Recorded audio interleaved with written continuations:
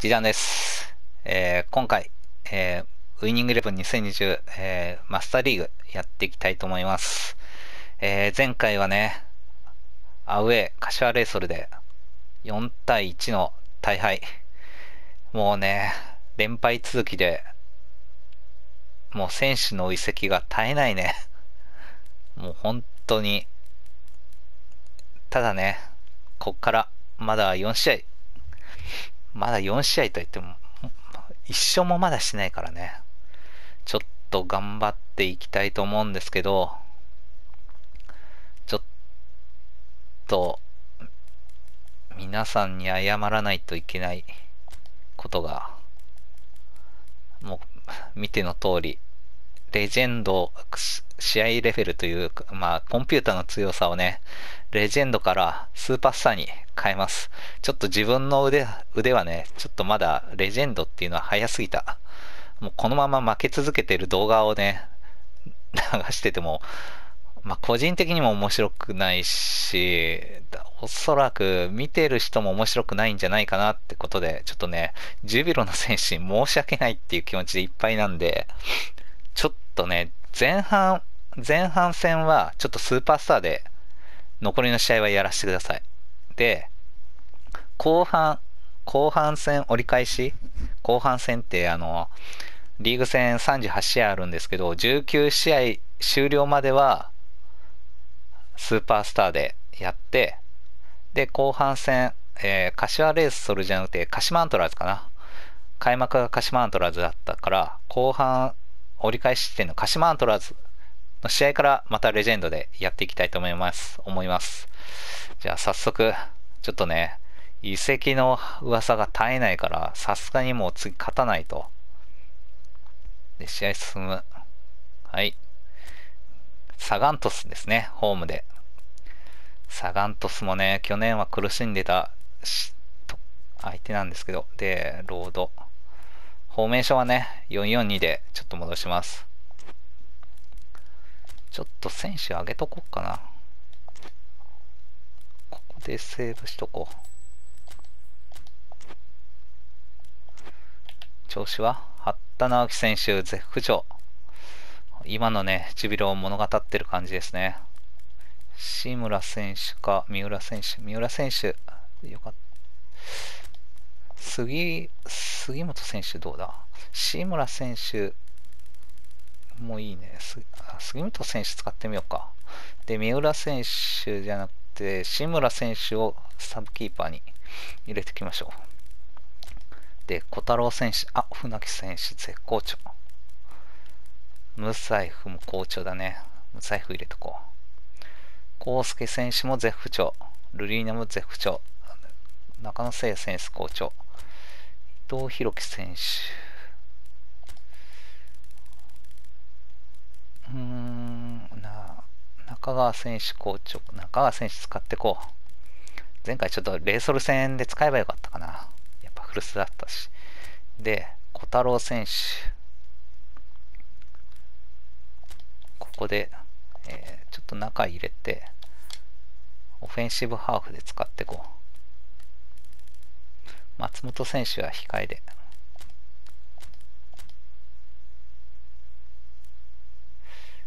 で、大部選手と、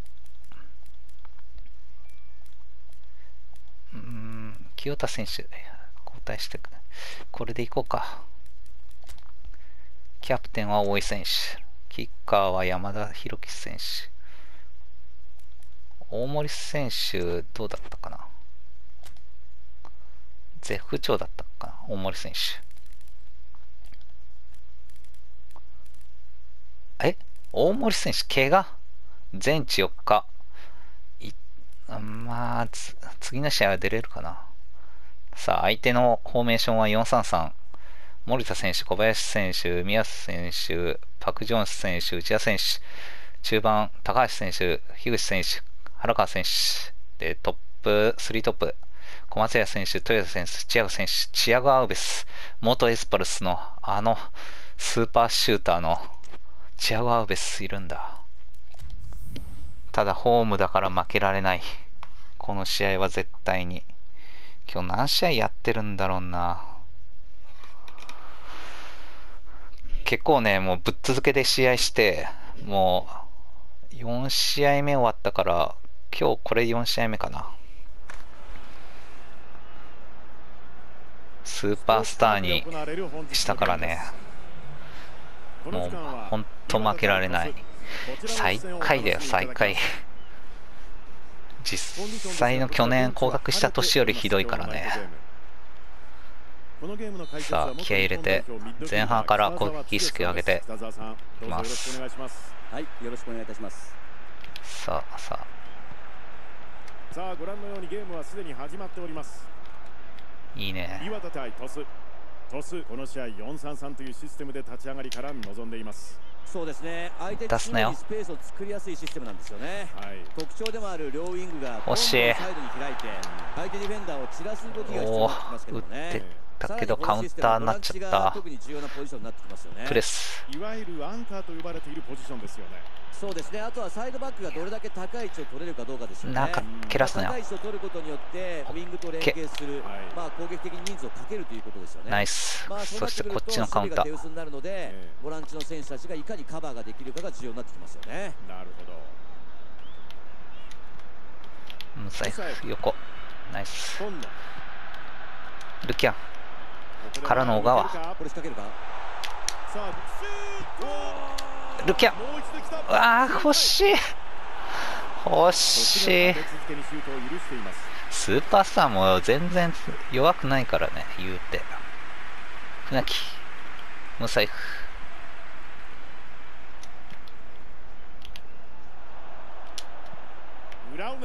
ああダメか。このボールはつながりませんやば。ナイス。うわやばいやばいやばい。やばいいいボール入りますよ。カウンターを仕掛けます。ナイス守備。いいプレッシャー。中向かせるな中向かせるな。チーンだなこれスーパースターにしてもこれだよ。原川。やばい。ちょっとまだまだ前半始まったばっかだし。16分だよまだ。シーズン5ゴール目となります。えー、結構取ってるんだな原川選手精神的なゆとりを持つことで視野がガッと広がってきますから、ね、結果的に攻めのリズムっていうものが良くなってきますよね、はい、うん。サイドを使います。ここはクロス。これはクリア。ナイス。ハイボール。サイドへ。ちょっとトラップが。高橋。大きく縦へこういうのが怖いんだよ。中川総選手頼む。マジ。ちょっとちょっと待ってよ。スーパースターだよなこれ。いや見入ってしまうような美しいカウンターでしたねいや綺麗なカウンターでしたよね。これは仮に相手は分かっていたとしても今のようなタイミングで決められてしまったらこれはちょっと見事な崩しでしたね。何も言い訳とかできないぞこれ。豊田今シーズン初ゴール。さらに1点を追加しトヨタ初ゴールなのか。いやこう立て続けですと勢い感じますよね。チームがこういい状況になってますよね。そうですね。取られるのよ。ああ。なんで背負えないんだろ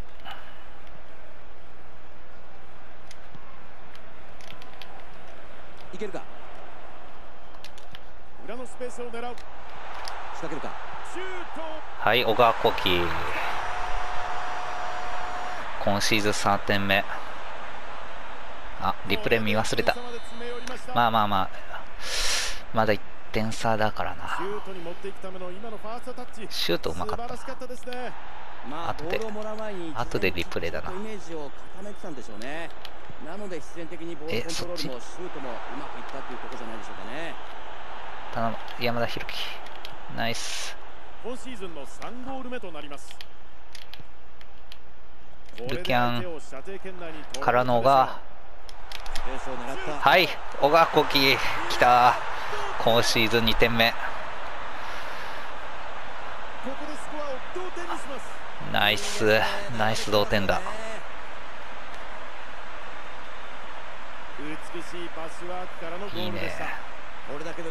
今シーズンまだ小川幸輝選手しか点取ってないかな今日2点目です。まだ振り出しになったばっかだからな。こっから点を取ってこう。何かのきっかけで一つ乗ってしまうと今日もプラスに働くチームなんですよね。そうですね。で2点差つけられたってね。2点取ればいいんだよ。さあここでカウンター。裏へのスルーパス。ああ取らないか。樋口。長いボールを送ります2点取ればいいというか3点取れば勝ちなんだよ。2点。1点取られてって。縦頼む。うーん。縦へのボール。ふわっと裏を狙う出る。最 OK 中川壮選手って結構明るい選手なんだな。なんかいろいろジュビロの動画で見てて思ったんだけど面白い明るい選手だなって感じで好印象だね。あとは試合に絡んでいってもらってまだ若いからね。うわムサイフ。ムサイフ頼む。取ってくれ前から。樋口。ああ終わりか。ファーストハーフ終了の笛です。両チーム動きのある前半でした。うんうんうん。白熱のゲーム。さあまずは最初の45分このまま行こう。しかしあの点差からよく追いつきましたよね。どんな状況ちょっとどうなるかと思ったけどね。後半ちょっとね点取って本当に勝ちこれ前半2点取ったからまだまだ。2対2の同点で終了。後半へと続きます。後半見ていきましょう。岩田としてはうわ。体勢悪かったな。イメージが。マラドーナも。首の皮今1枚しか繋がってないから監督。内田。長いボール縦へ中が。マイボール。オッケーオッケー逆サイド行く逆サイ鳥栖先日の試合ではあまおいおい。り采配が的確でなかったとの指摘。ところどころありましたね。まあそうですね。あれは途中からディフェンスの枚数を減らしたのが良くなかったですよね。あの状況で後ろを手薄にすることはリスクが大きいですからさ完全に逆それが画面に出て今野しまいましたよね。サイド振ってそうそうそうそうもう一つ前に行きたい。ヨガコキスルーパスを出す。あーかわせない。縦へのボール。さあカウンターのチャンスになります。ナイス。今野。ルキアン。小川。チャンスになる。山田。敵に右サイドへ振って。やばい。また中央へ。取れない。渡ります。抜けてくる。オッケーナイス小川キパ杉本、えー、船木。長いボールを送ります。コンちゃん。で藤ね。川小太郎。絶好調そうですね。今日はシュートも打ってますし得点も決めてますからね。小川。あー出せない。この試合ですでにアシストを記録しています。ナイス中川そうで山田裕樹選手で小川幸輝に当ててルキアン。試合で2ゴール決めています。ファール。え？俺のファール？マジ？からの？小川頼む。うーわマジ？くそ。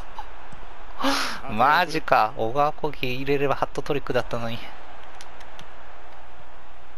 まだあるボールる。来た。これは打てないか。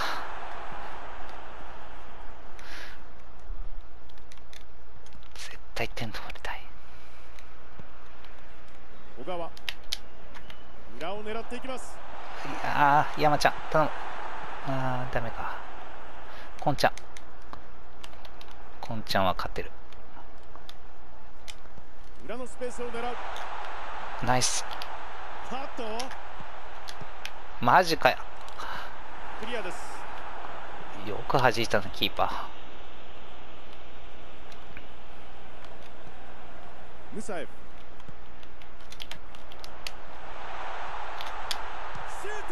フうわ。交代。守備のほんの少しの隙にしっかりつけ込むいいプレーでした。コーナー？でも。つけといて、まあ、相手からのミスになりましたけども拾いましたよね。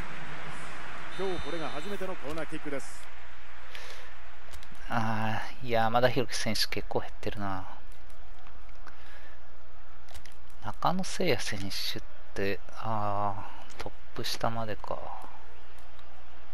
伊藤裕樹選手はサイド松本小太郎選手左行ってもらって中中やって正也選手投入しよう。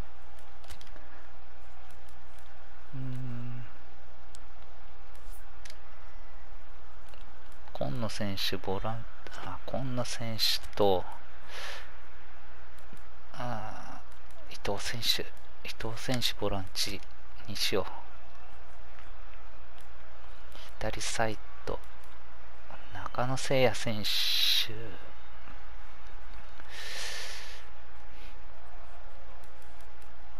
もうちょっとだな。うんまだ70分だし。松本選手で。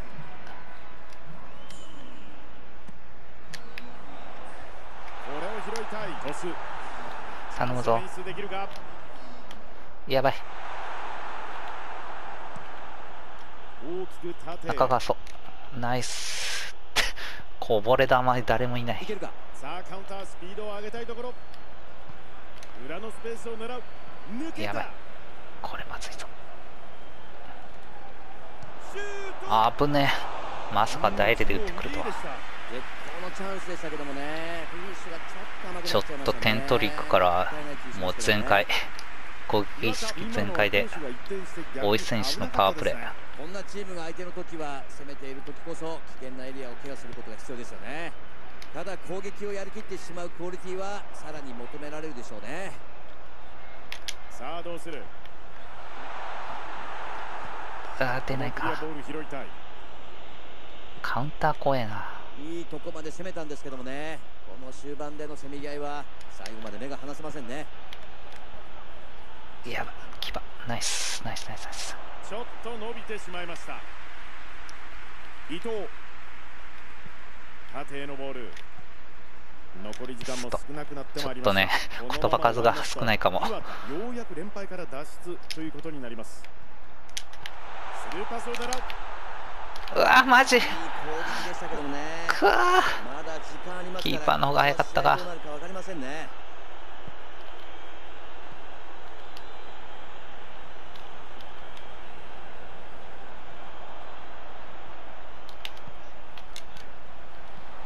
あ次につなげたい。トス。やばい。やばいやばいやばいやばいい。いボールだ。カウンターを仕掛けていきます。そ抜けてくる。さあつながるか？ここで受ける。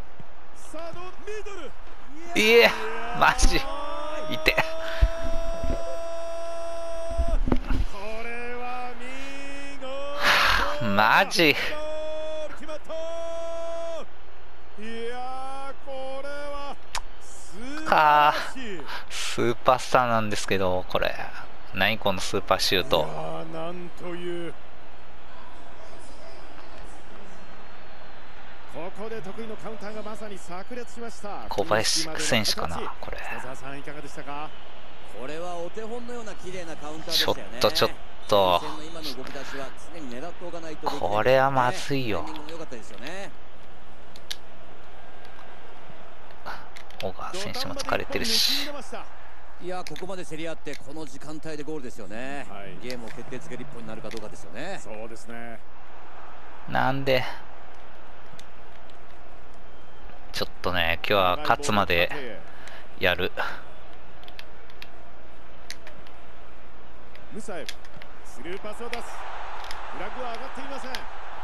なあ。